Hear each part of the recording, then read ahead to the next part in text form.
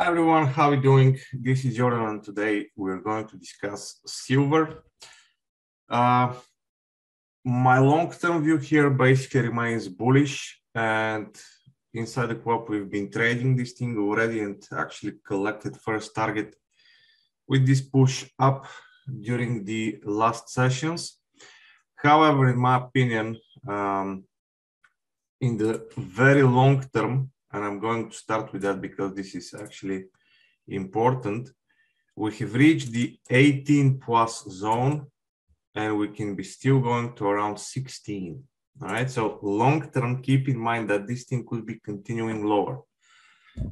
Now, on the shorter term, I do believe that the price is set for a pullback. What we can see is that from the last swing, which starts here, we have a structure, we have bullish divergence, and in my opinion, at least we can expect this thing to provide us with um, corrective structures here, at least, and then continuation lower, or maybe even the reversal from this very point and then going up. That being said, we can go to the lower time frames where we can see on the four hour chart, there is a delta pattern already here. And there are some pretty interesting levels on the way which were broken. The levels I'm referring to are this one and then immediately the one before it. So basically I see those two as two um, consolidation in a sort of zones that the price managed to break above and continuing higher. The very next level above is, at least my broker, somewhere around this zone. So long story short, we already have the bullish pattern. We have good levels on the way, no divergences. My idea here is to look for pullbacks and then continuation up. Um, and that's that's pretty much the whole idea, right? Now, in terms of levels to the upside, of course, that will depend on your um, risk reward ratio, but keep in mind where the strong levels are.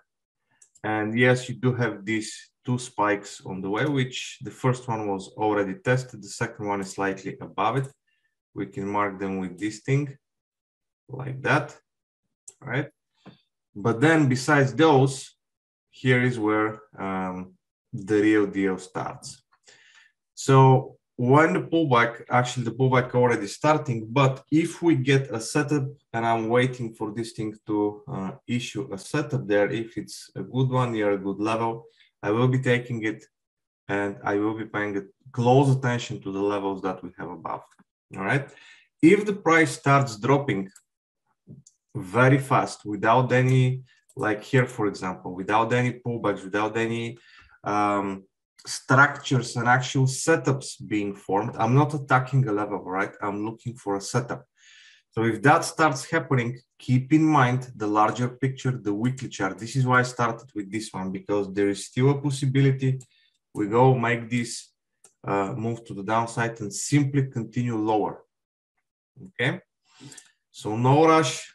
Let it develop as it wish. If it provides a setup, we can go ahead and attack it and try to make some money out of it. All right. Thank you and have a good week.